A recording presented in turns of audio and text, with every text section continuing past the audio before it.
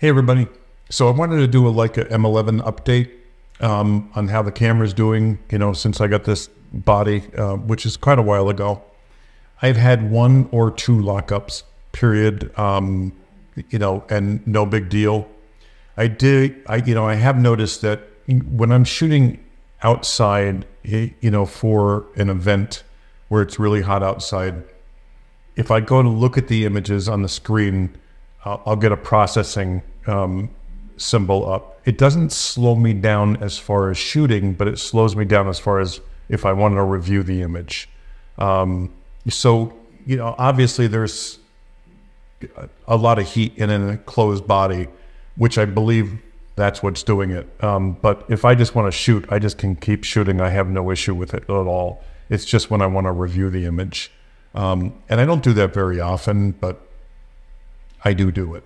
Anyway, um, the next thing is the 50 Summilux, the 2023 version. Um, you know, I've been using this quite a bit. I, I don't think I've taken it off my camera uh, since I got it. And, and, the last event I did, it was, this is all I used.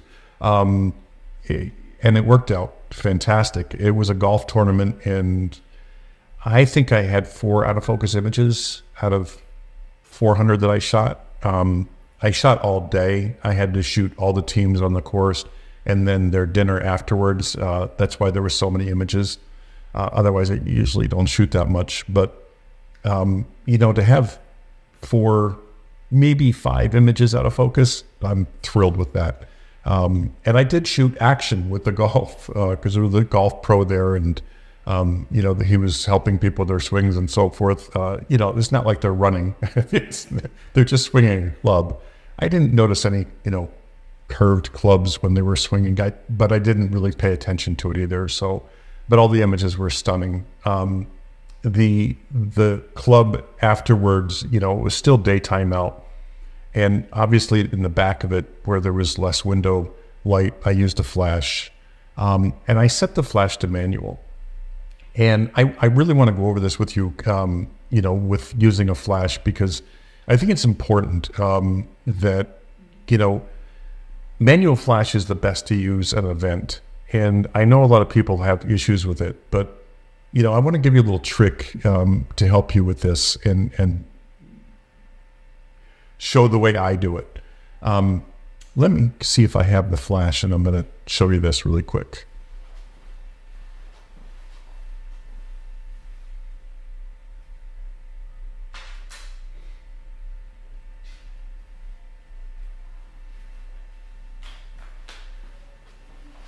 Well, I don't have my Nikon. I, I don't have my Nikon flash, but I do have the the Godox um, V350 for Nikon, and this will work on this uh, especially the way I'm doing it. So I'll set my flash um, at an angle, whether this, this, event had a brown ceiling. So, you know, it's not going to make a difference, but I'll take the card and put it up um, when this is, you know, the case, and then I'll put the uh, diffuser over it. Uh, so it throws a little bit like forward. Um, and, you know, it, I get more coverage this way um, and it works fine. I'll set the flash to manual and right when I get in, I'll take an image of of a person, like it could be a waitress or a waiter or whatever, um, just anybody there, and say, I just want to get my light correct uh, for the event. Could you, you know, stand there for me? And you get your distance. So whatever distance you normally stand, you know, from someone, that's what you're going to do. So you're going to set your ISO so you get some ambient light. Um, you know, maybe it's 400 or 800 uh, and then you're going to set your flash to fill in the face. Um, that's it. So once that's set, you're ready to go. Now, there's two ways you can do this, and you know, depending on what lens you have, and this is really important because some lenses have um, focus issues. They have, uh, you know,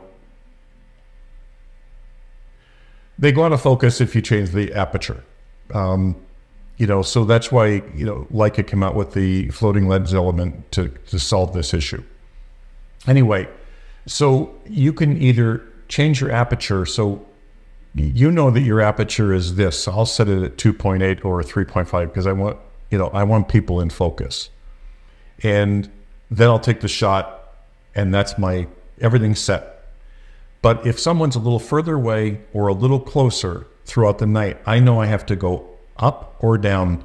And you can either just turn your dial on your flash really quick. So, like, it's all one step. You just turn it and then take the shot. Or you can change your aperture, you know, one stop up, one stop down to compensate for them being a little further or a little closer than that original shot. It's that simple. Um, and you just have to be close. You don't have to be exact because cameras have such leeway today. It, it doesn't matter. You know, if it's a little bit underexposed because you didn't turn it up enough because they were back too far, you're still going to be able to pull that out, but you're going to still have decent light.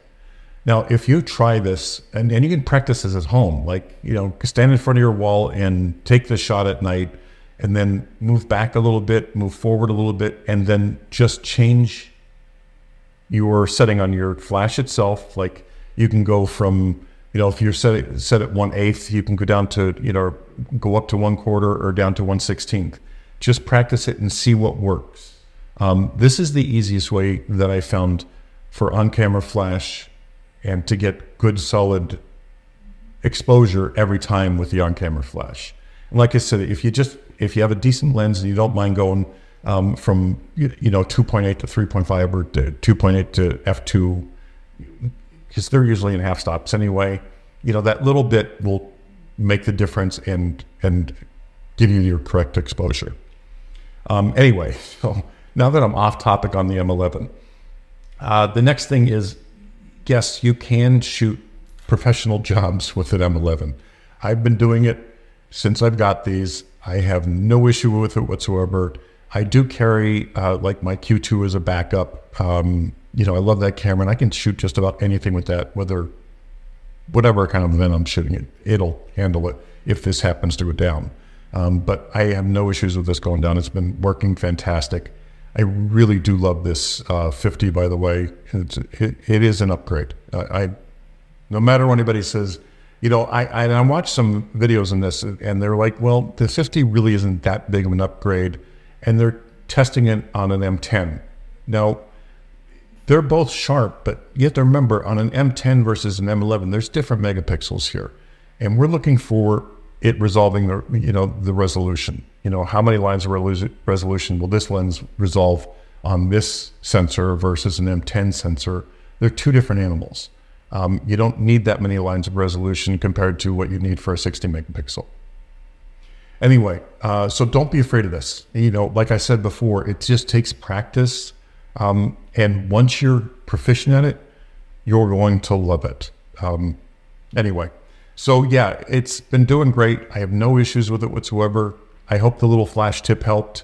Um, anyway, thanks for watching as always, and I'll, I'll talk to you soon. Oh, by the way, I'm going to do another video on this um, reflex, Stella Pro Reflex light. Uh, I'm using it now to light me because it actually works and it's in the umbrella still. Um, but I have somebody coming in because I really want to do this. Um, I'll probably do this over the weekend and and play with this because I want you know the straight light up with the uh, Fresnel and the dome and all that kind of stuff. But I've been using it since the last video. I love this light. Um, you know, don't hesitate if you're looking for something like this no, the flash is not as powerful as a speed light. It just, it isn't. But this kind of hybrid stuff, and when I don't want to use a flash on top of the Leica and I just want to shoot natural, this is going to be spectacular. I can't wait to play with it more. Anyway, thanks again for watching.